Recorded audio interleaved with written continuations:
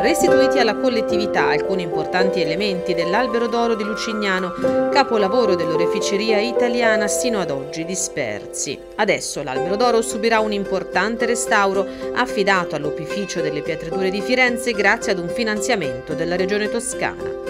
Tutto era partito appunto da un recente ritrovamento grazie alla collaborazione del Nucleo Carabinieri per la tutela dei beni culturali di Firenze. Alcune importanti porzioni del cosiddetto albero d'oro, colossale reliquiario considerato tra i capolavori assoluti dell'arte orafa italiana, sono stati recuperati ad oltre 100 anni dal furto che risale al 1914.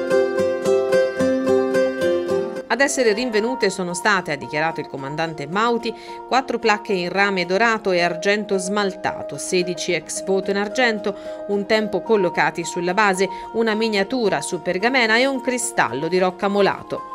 Il rinvenimento attuale obbliga appunto ad una revisione della ricomposizione realizzata negli anni 30 nel ringraziare la Regione Toscana per aver deciso di finanziare l'intervento di restauro, la sindaca di Lucignano, Roberta Casini, ha auspicato che possano riemergere le parti ancora mancanti, in particolare il Cristo, che domina il reliquiario.